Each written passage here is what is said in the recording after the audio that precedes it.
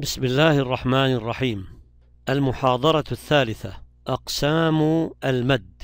ونبدأ أولا بالمد الفرعي. ونبدأ ثانيا بالمد الفرعي.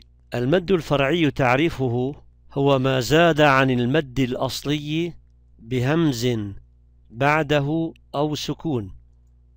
وصورته أن يأتي حرف مد كما مر معنا بالطبيعي ويأتي بعد حرف المد همز سواء بكلمة واحدة أو بكلمتين أو يأتي حرف ساكن ولا يكون إلا بكلمة واحدة.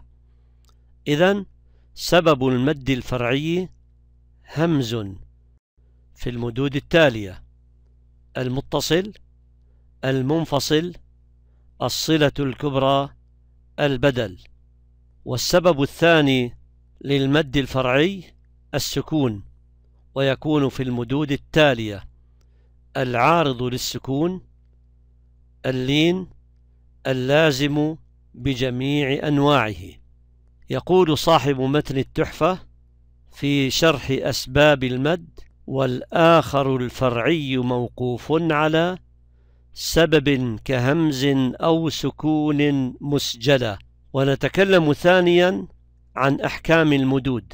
فأحكام المدود كما قلنا ثلاثة الوجوب ويكون في المد المتصل الجواز ويكون في مد المنفصل والصلة الكبرى والعارض للسكون واللين والبدل برواية ورش عن نافع.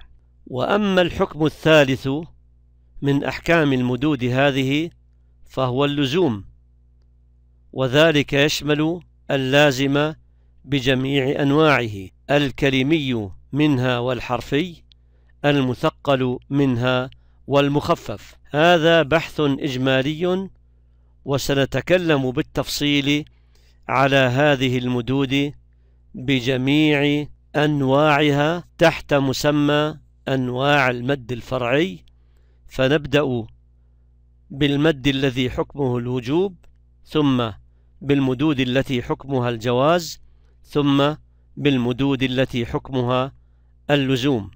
والحمد لله رب العالمين.